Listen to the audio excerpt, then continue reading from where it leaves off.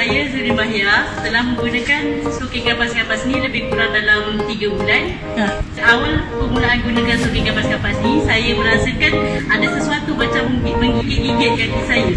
Tapi bangun daripada tidur esok harinya, saya rasakan kaki saya lebih uh, lega setelah saya sakit.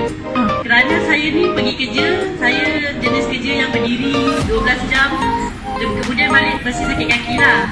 Jadinya lepas uh, malam sebelum tidur saya gunakan uh, sopi kapas-kapas ni. Jadinya saya kena pakai lebih konsisten untuk terus hilangkan rasa sakit kaki saya.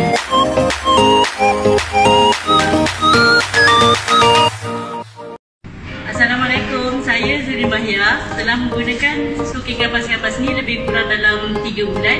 Ha. Awal permulaan gunakan suki kapas-kapas ni, saya merasakan ada macam menggigit-gigit kaki saya.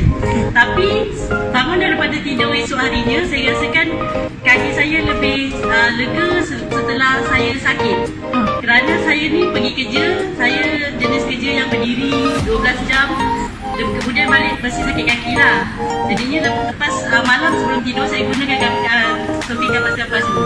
Jadinya saya kena pakai lebih konsisten untuk terus